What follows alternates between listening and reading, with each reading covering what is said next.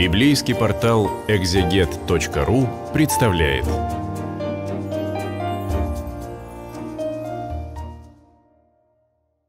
Сегодня на библейском портале «Экзегет» мы продолжаем наши беседы а, по посланию к римлянам первоверховного апостола Павла.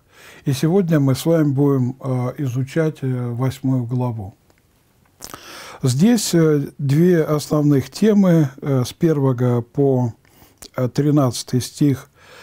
«Думайте не о плотском, но о духовном» с 14 стиха и до конца, до 39 стиха, тема «Грядущая слава детей Божьих». И мы будем рассматривать эту главу. И мы читаем с первого стиха и ниже. «Итак, нет ныне никакого осуждения тем, которые во Христе Иисусе живут не по плоти, но по духу. Потому что закон Духа жизни во Христе Иисусе освободил меня от закона греха и смерти.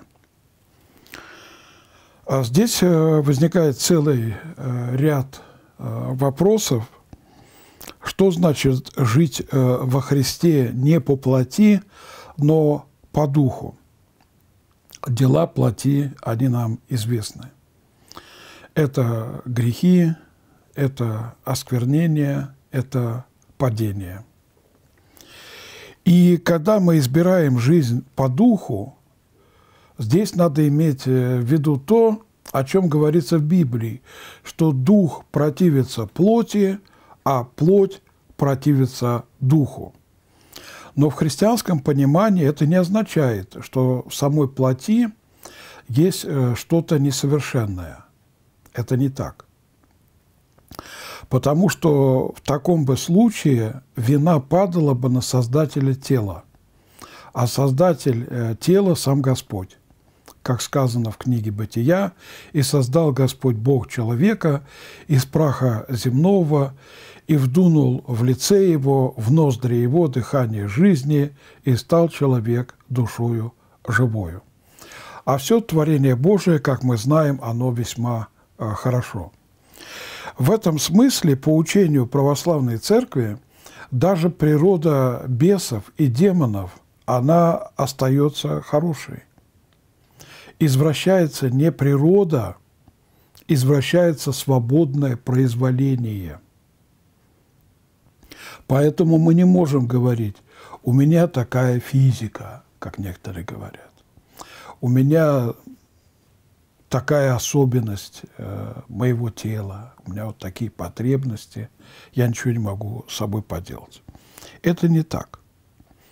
Грех рождается в свободном произволении которые вместо того, чтобы быть э, направленным э, на исполнение воли Бога, начинает это свободное произволение бунтовать против Бога.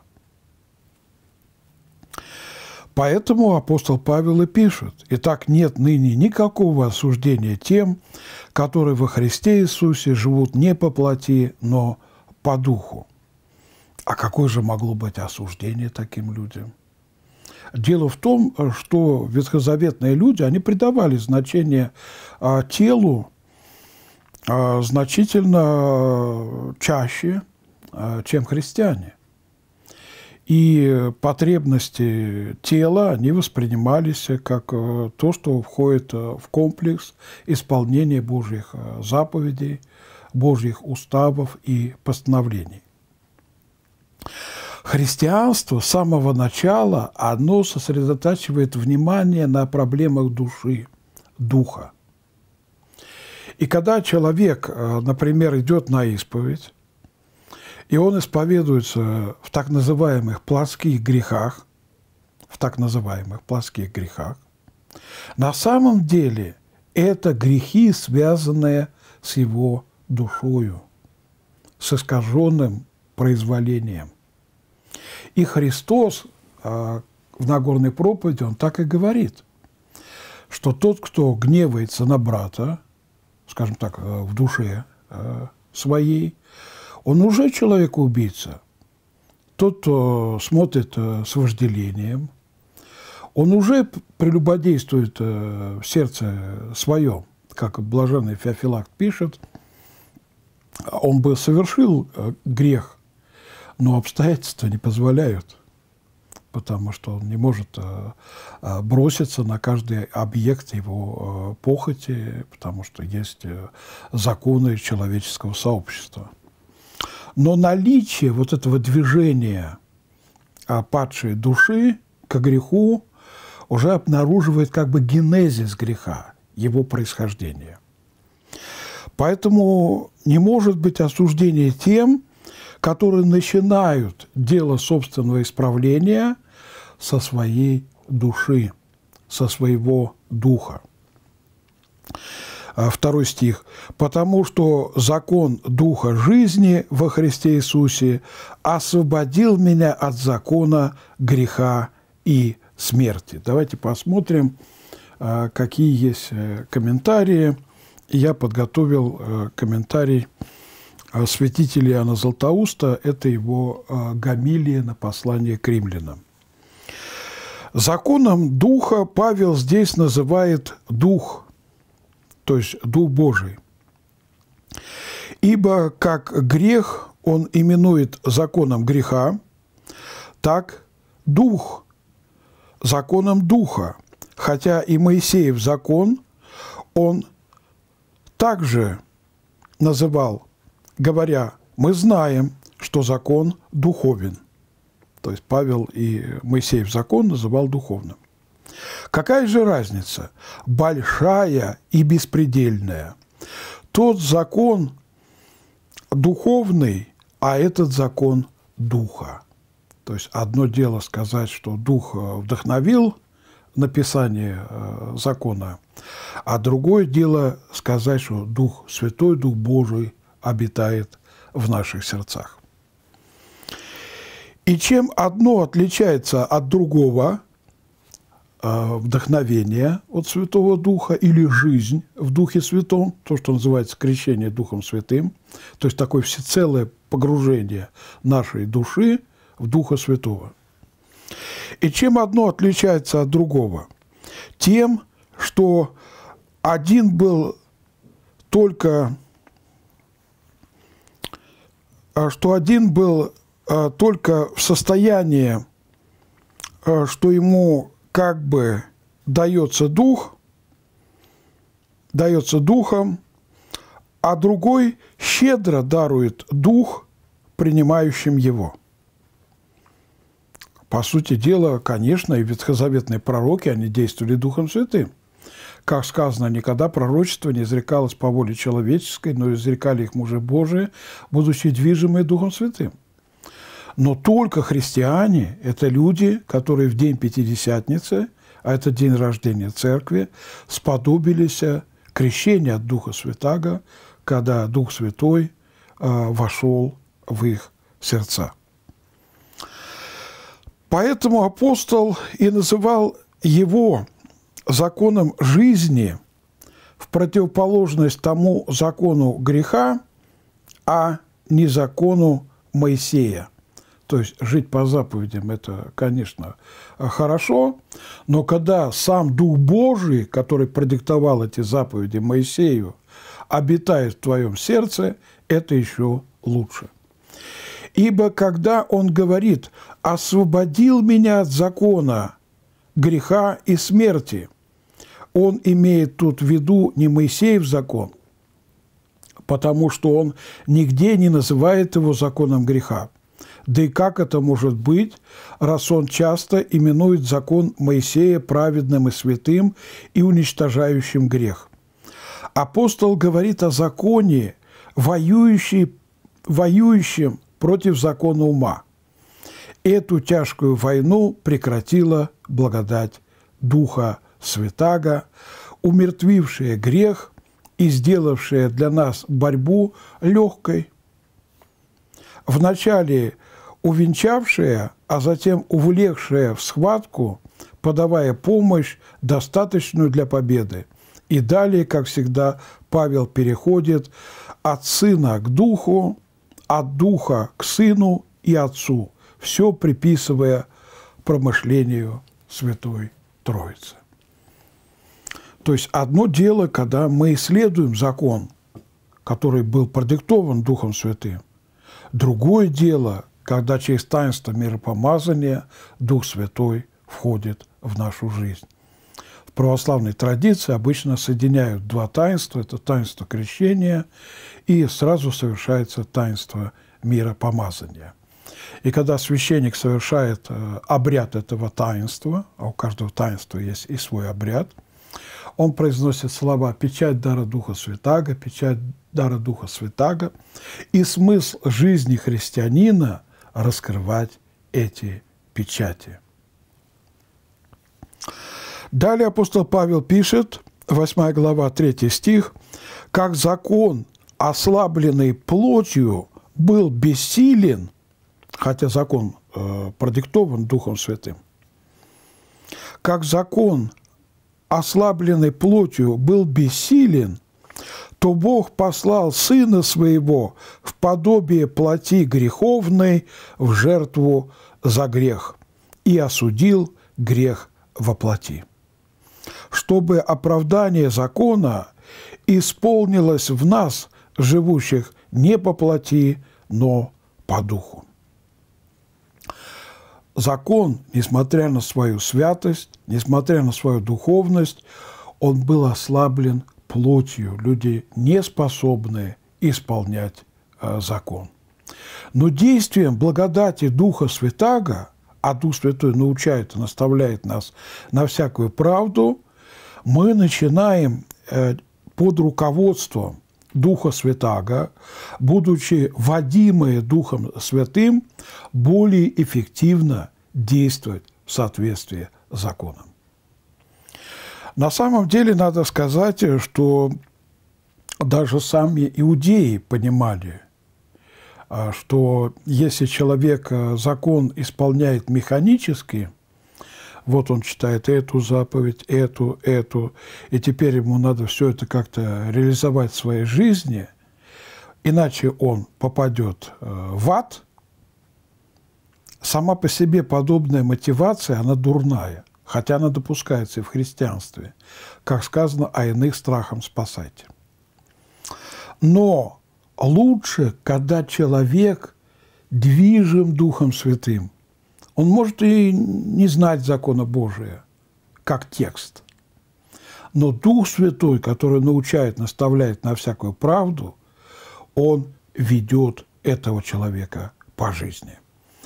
И мы знаем из э, жития Марии Египетской, что она, живя в пустыне, в совершенстве знала Священное Писание, потому что была наставлена Духом Божьим. Помышления плотские – суть смерть, а помышления духовные – жизнь и мир. Это шестой стих. А перед ним пятый стих «Ибо живущие по плоти о плотском помышляют, а живущие по духу о духовном».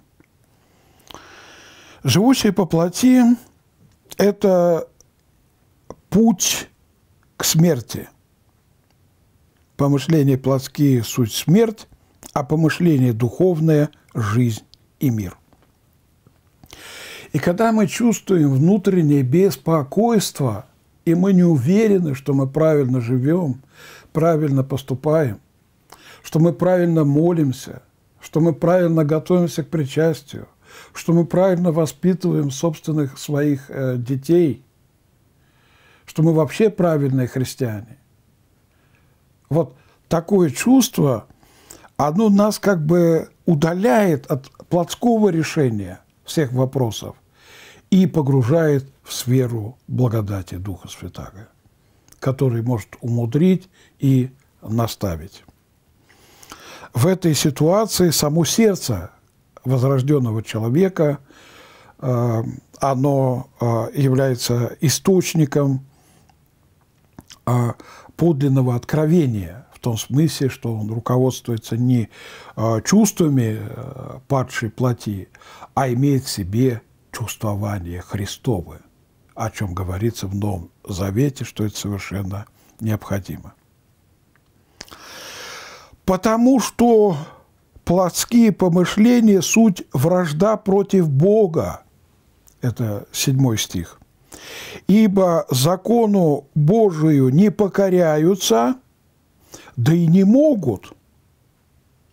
Человек не может чисто механически взять и там движением какого-то переключателя а, изменить свою жизнь. Он не может, потому что в результате грехопадения необратимые процессы возникли. И сам Христос говорил, что лучше для вас, если я пойду к Отцу, я умолю Отца, и Он пошлет вам Духа Святаго. Конечно, Христос мог э, с нами жить э, вечно. И Он бы нас э, наставлял бы. Но, во-первых, жизнь Христа во плоти, она была ограничена землей Израиля, Эрец Израиль. А действие Духа Святаго о котором сказано, что дух дышит где хочет, и глаз его слышишь, а откуда приходит и куда уходит, не знаешь, оно более эффективно для нас. И это сказал Христос. Лучше для вас. Я пойду к Отцу, умолю Отца, и Он пошлет вам другого утешителя. Посему живущие по плоти Богу угодить не могут – то есть те, которые чисто механически э, пытаются исправить себя, э, там, исправить своих детей, может быть, используя там плотские наказания какие-то. Но вы, продолжает Павел, 9 стих, не по плоти живете, а по духу, если только Дух Божий живет в вас. Если же кто Духа Христова не имеет, тот и не его – Оказывается, этот вопрос вполне христологический. Если ты имеешь э, Духа Святаго, то ты Христов. Если же кто Духа Христова, так называется Дух Святой, не имеет, тот и не его. А если Христос вас, через действие Духа Святаго, когда особенно в таинстве причастия – Э, в святых дарах, он входит э, в наш э, внутренний мир нашего тела. А если Христос в вас, то тело мертво для греха, но дух жив для праведности. Действительно, иногда бывает такая ситуация, что вдруг христианин перестает грешить.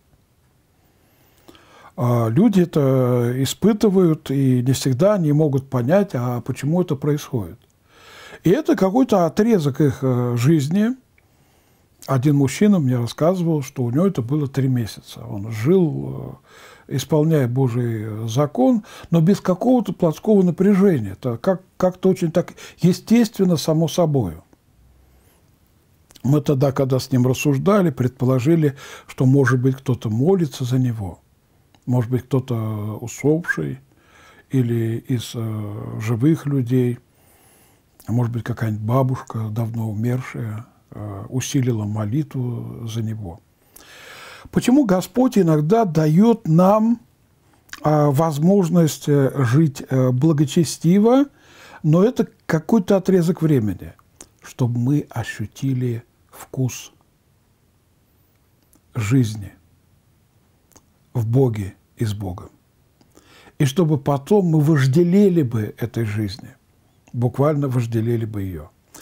Как э, преподобный старец Силуан Афонский, будучи еще новоначальным, он вподобился явлению Христа. И мы не можем сказать, что э, качества, духовные качества Силуана в начале пути были такие же, как и в конце пути, конечно, нет. Он был там какой-то совсем новоначальный. Но потом всю свою жизнь он жил этим переживанием этой встречи. И когда он умирал, он плакал от радости, потому что он вожделел пережить эту встречу вновь и вновь.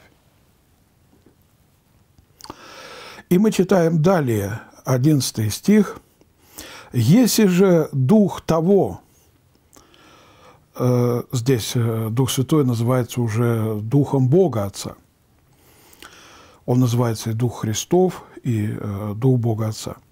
Если же Дух того, кто воскресил из мертвых Иисуса, живет в вас, то воскресивший Христа из мертвых оживит и ваши смертные тела Духом Своим, живущим в вас.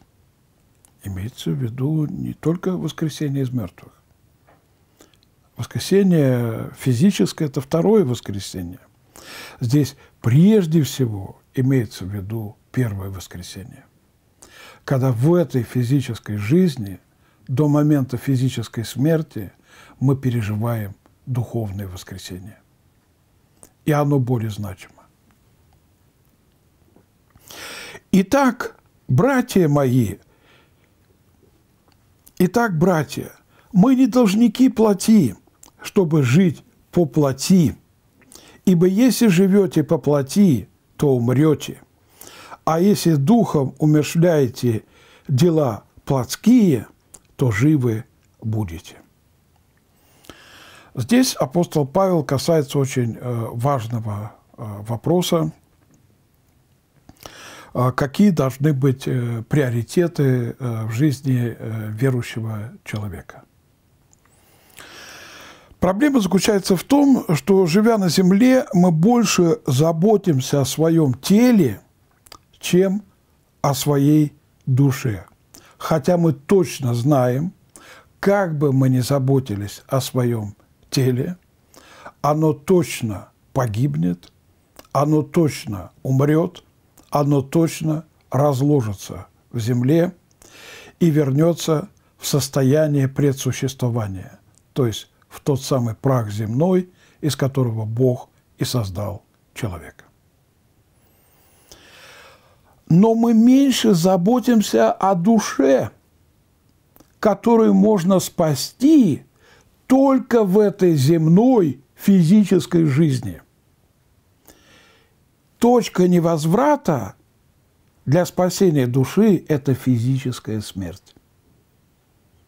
И святые отцы об этом очень много говорят и пишут, что здесь твои молитвы, которые ты произносишь, Бог их слышит.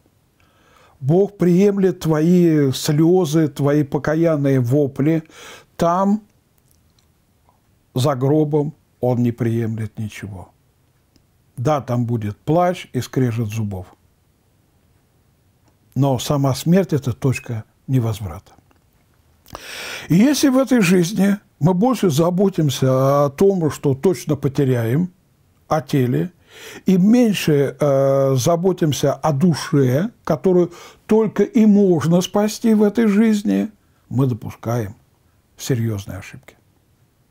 День спасения нашего тела – это день воскресения нашего тела. Когда звук трубы архангела Гавриила, прах кости придут в движение, и мы восстанем.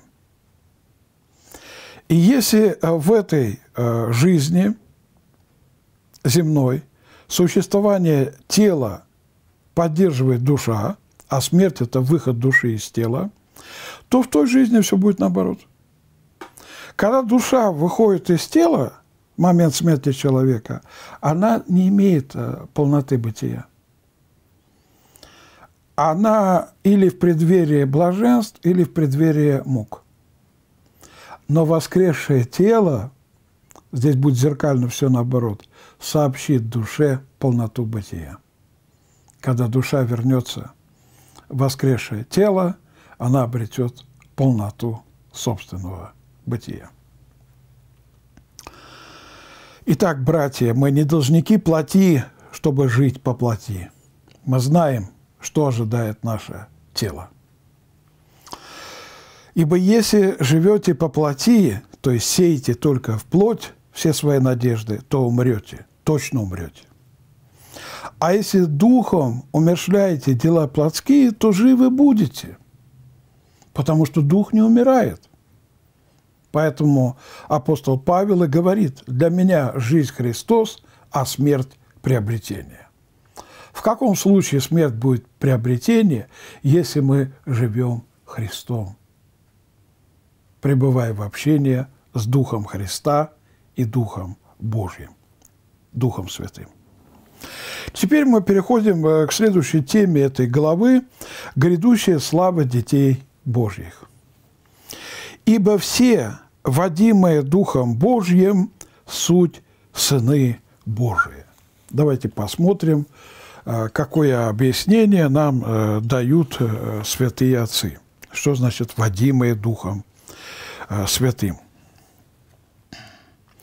Святитель Иоанн Златоуст пишет – Павел не просто сказал «те, кто живет Духом Божьим», но «водимые Духом Божьим», показывая свое желание, чтобы он, Господь, был таким же господином нашей жизни, как кормчий корабля и возница конской упряжки. И не только тело, но и душу апостол подводит под бразды духа. Ибо он не хочет, чтобы э, даже душа управляла и подчиняет ее власти и силе Духа Божия, дабы, полагаясь на дар купели, э, купели крещения, душа и тело не стали пренебрегать духовным в последующей жизни.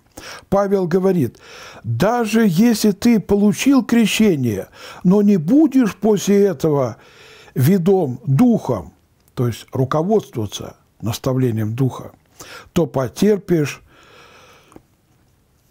поражение, потеряешь данное тебе достоинство и преимущество усыновления. Поэтому он не сказал, кто получил духа, но кто ведом духом – говоря о тех, кто всю жизнь живут как сыны Божии. И э, в трактате о ревности и зависти э, священномученик э, Киприан Карфагенский пишет, «Если мы дети Божии, если уже начинаем становиться Его храмами, то есть если Он в нас живет, то тело – храм, если живем духовно, стяжав святаго Духа, если возводим глаза от земли к небу, если восходим к Высшему и Божественному с душою, исполненной Бога и Христа, то лишь потому, что делаем достойное Бога и Христа, как призывает и побуждает апостол то есть водимые Духом э, Святым, это те, которые воспринимают наставления от Духа Божия как Господнее руководство к действию. Обычный человек, плотской человек э, может быть э, водим голосом совести. Но совесть бывает, как говорят в народе, прожженная. А есть люди без совести, они так и называются, бессовестные люди, которые не стыдятся своих грехов, говорят о них открыто. Поэтому для нас очень важно, чтобы Дух Святой, Дух Божий руководил нами. Все таинства Церкви, они совершаются Христом, действием Духа Святаго. Поэтому стяжание благодати Духа Святаго, что по Серафиму Саровскому составляет смысл жизни христианина, это рачительное отношение к той благодати, которую мы получаем через таинство Церкви. То есть мы должны оберегать это состояние, как э, в книге «Притч» сказано, «Пусть источники твоего колодца не растекаются по улицам города». Ибо все водимые Духом Божьим суть сыны Божии, потому что вы не приняли духа рабства, чтобы опять жить в страхе, но приняли духа усыновления, которым взываем Ава Отче. Это действительно так. Дух рабства это состояние, э, когда кто-то порабощает тебя. Вот, например, э, дух бесовский, дух сатанинский, он именно пленяет человека, и о таких людях говорят как об одержимых злыми духами. Дух Святой – это дух любви, как апостол Павел пишет. «Любовь Божия излилась в сердца ваши, в наши сердца Духом Святым». Он не пленяет, он э, не порабощает, он не связывает. Он трепетный наставник, который научает и наставляет нас на всякую правду, напоминая учение Христова. И Дух Святой подсказывает нам, что мы дети Божии. И этот Дух усыновления, именно им мы взываем «Ава Отче», особенно когда мы читаем молитву Господню, которая и начинается этими словами «Отче наш». «Сей самый Дух свидетельствует Духу нашему, что мы дети Божии – а если дети, то и наследники. Наследники Божии, сонаследники же Христу, если только с Ним страдаем, чтобы с Ним и прославиться. Все дети Божии – сонаследники Христу. Почему? Потому что Христос – это единородный Сын Божий по природе, а мы – чада Божие по благодати. Таким образом, э, через Духа Святаго, усыновленные Богу Отцу, мы становимся братьями э, для Христа. «Ибо думаю, – далее рассуждает апостол Павел, – что нынешние времена страдания ничего не стоят в сравнении с той славой, которая откроется в нас».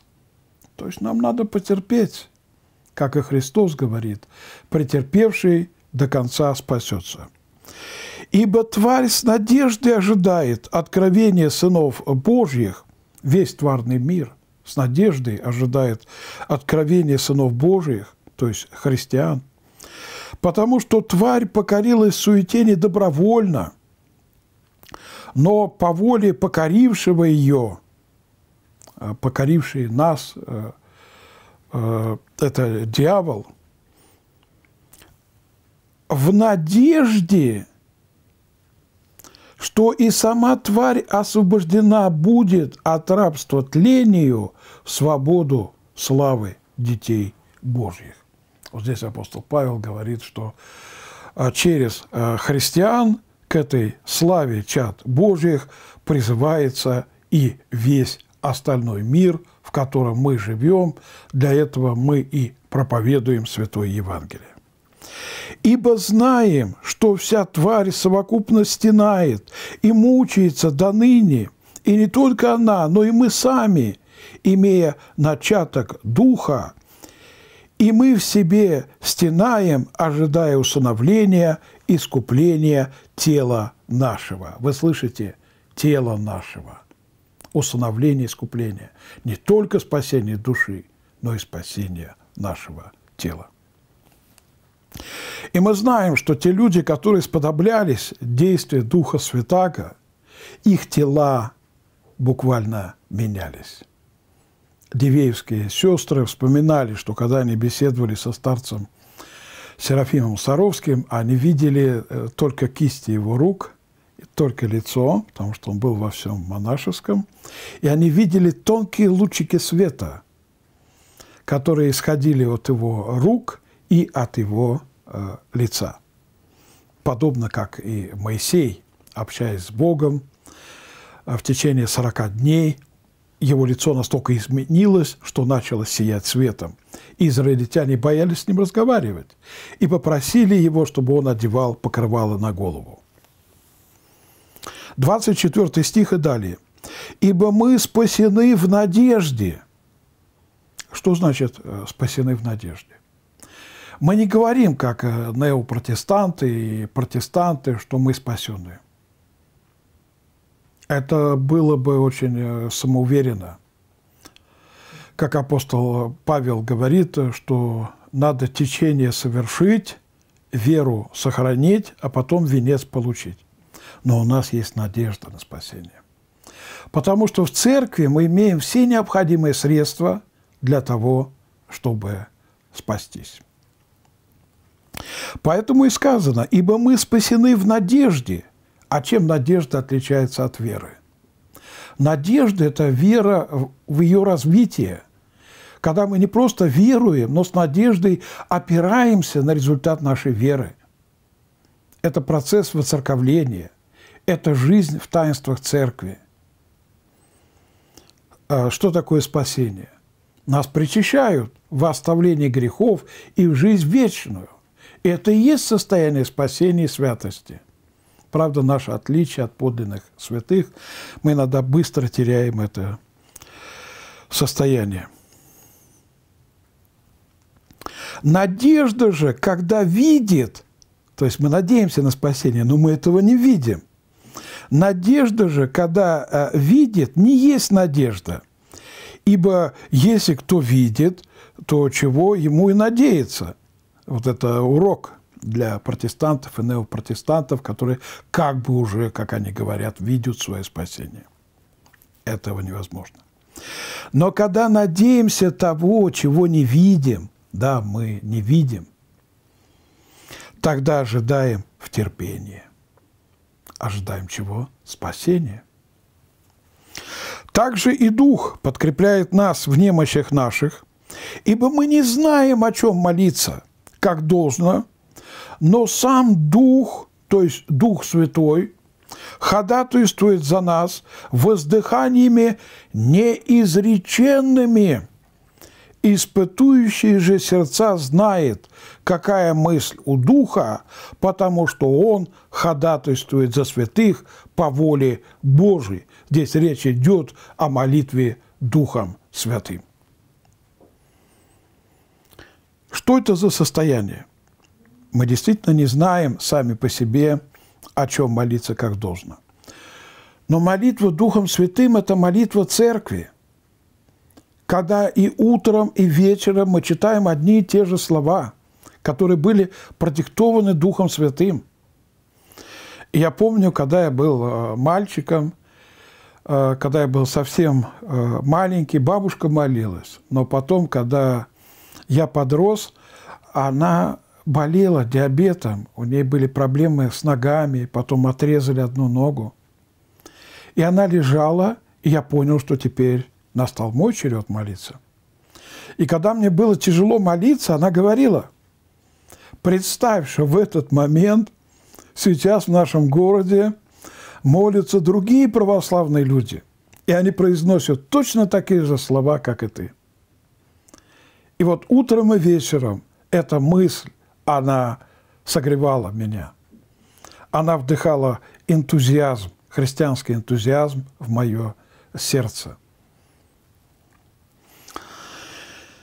Далее мы читаем, «Притом знаем, что любящим Бога, призванным по Его изволению, то есть никто не приходит к Богу без произволения Его, мы призваны Богом, как Христос говорил, не вы меня избрали, я избрал вас.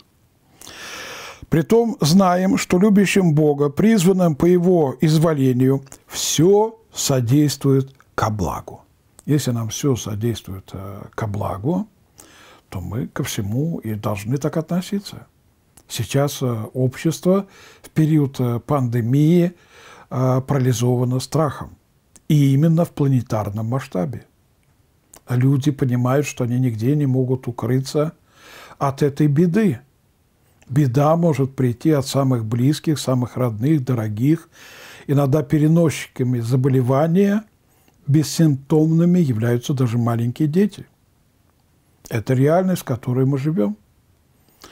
Но если все содействует ко благу, то мы должны с доверием относиться ко всему, что происходит в нашей жизни.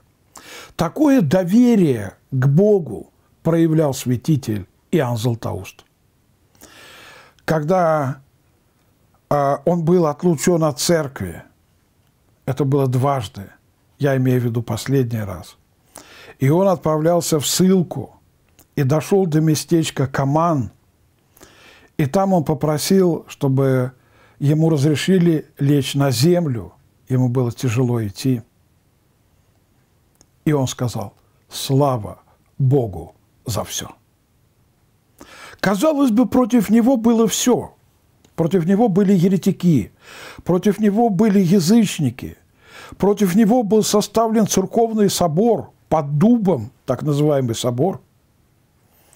И даже э, святой Епифаний Кипрский участвовал в низложении патриарха Иоанна Златоуста. Он мог бы пережить разочарование, что, собственно, его матерь церковь изгоняет его. Но он все принимал с благодарностью, зная, как Павел пишет, при том знаем, что любящим Бога, призванным по его изволению, все содействует ко благу. Поэтому последние его слова были «Слава Богу за все». И далее мы читаем, почему любящим Бога все содействует ко благу. Ибо кого Он, то есть Бог, предузнал, тем и предопределил быть подобными образу Сына Своего, дабы Он был, то есть Сын Божий, первородным между многими братьями. Вы видите, христиане здесь называются братьями Иисуса Христа, а Он первородный брат наш – потому что мы через Него усыновлены Богу, Отцу. Усыновлены, усыновлены те, которых Бог предузнал. Что значит предузнал? Бог не ограничен ни прошлым, ни будущим. Как вездесущий, Он присутствует в каждом мгновении времени и в каждой точке пространства. Наш первый э, вздох и наш последний выдох э, для Бога – это реальность. Он предузнал э, каждого из нас относительно своей божественной природы. Но свой выбор мы, живущие во времени и пространстве, делаем сами. И божественное предузнание никак не ограничивает нашей свободной воли. Об этом надо э, помнить. Поэтому мы, христиане, не исповедуем какой-то фатализм, что от нас как бы уже ничего не зависит. Это все не так. А кого он предопределил, тех и призвал. А кого призвал, тех и, и оправдал. А кого оправдал, тех и прославил. То есть во Христе мы имеем а, не только Божье прощение или Божье милосердие, но и оправдание. То есть такое состояние, когда мы, бывшие грешники, становимся оправданными, то есть как бы никогда не согрешившими. Об этом говорит и пророк Исаия. «Если грехи ваши будут как багряные, как снег, убелю их». Это и есть прославление. А кого оправдал, тех и прославил. Что же сказать на это? Если Бог за нас, кто против нас? И мы поем за богослужением «С нами Бог, разумейте, языцы, и покоряйтесь. Если Бог за нас, действительно, кто против нас? Тот, который сына своего не пощадил, но предал его за всех нас, а сказано, Христос умер за нечестивых, едва ли кто умрет за праведника. Тот, который сына своего не пощадил, но предал его за всех нас – как с Ним, то есть со Христом, не дарует нам, как чадом по благодати, и всего. Во Христе мы действительно имеем все. Помните, как Христос явился к апостолам, Он сказал «мир вам». А в славяно-русском, русской традиции, в славяно-русской традиции слово «мир» имеет значение прекращения войны – и другое значение – вся Вселенная. Поэтому э, славяно-русская традиция, она допускает, что Господь нам отдал весь этот мир. Мир и был, кстати, сотворен для праведных. Это очевидная истина. Тот, который Сына Своего не пощадил, но предал Его за всех нас, как с Ним, то есть Сыном Божьим, не дарует нам и всего. Кто будет обвинять избранных Божьих? Дьявол все время напоминает нам прежнюю греховную жизнь. Он напоминает нам грехи юности. Он напоминает нам преступления, которые мы совершали. Ужасное уродство, ужасное падение. Но если мы оправданы Богом, кровью Иисуса Христа – кто будет обвинять избранных Божьих, восклицает апостол Павел. Бог оправдывает их. Вы слышите, не прощает, не милует, оправдывает. Кто осуждает? Христос Иисус умер, но и воскрес. Что значит умер, но и воскрес? Умер за наши грехи, воскрес для нашего оправдания. Он и одеснуя Богу, Он и ходатайствует за нас. Как и сказано, един ходатай между Богом и человеками. Человек, Христос Иисус. Ты слышишь, брат, ты слышишь, сестра, ты слышишь, отец. Христос ходатай за каждого из нас. Кто отлучит нас от любви Божией? Скорбь, или теснота, или гонение, или голод, или нагота, или опасность, или меч. Давайте добавим к словам Павла. Кто отлучит нас от любви Божией? Пандемия, преступники, зло этого мира, антихрист, дьявол. Никто не может отлучить нас от любви Божией, если мы сами сохраняем ответную любовь к Создателю. Как написано, за тебя умершвляют нас всякий день, считают нас за овец, обреченных на заклание. Но все сие, все трудности жизни, все скорби, все страхи, но все сие преодолеваем силою возлюбившего нас. А насколько Бог возлюбил нас – Ибо так возлюбил Бог мир, что до Сына Своего Единородного, дабы всякий верующий в Него не погиб, но имел жизнь вечную. И апостол Павел, оканчивая эту главу, пишет, «Ибо я уверен, что ни смерть, ни жизнь, ни ангелы, ни начало, ни силы, ни настоящее, ни будущее, ни высота, ни глубина, ни другая какая тварь не может отлучить нас от любви Божией во Христе Иисусе, Господе нашим. Это настоящий э, гимн э, христианской вере, христианской надежде, э, прежде всего вот эти вдохновленные Духом Святым слова апостола Павла – не случайно святитель Иоанн Златоуст называл апостола Павла арфой Духа Святаго, и мы слышим с вами сегодня, как звучит эта арфа Духа Святаго. Берегите себя, друзья, в эти дни. Подписывайтесь на библейский портал «Экзегет», чтобы вам вовремя получать информацию о новых беседах. Спасибо Господь.